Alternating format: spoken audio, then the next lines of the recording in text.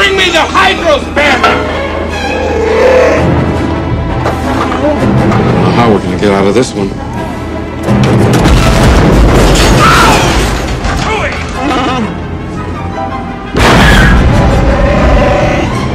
That wasn't a laser blast. Something hit us.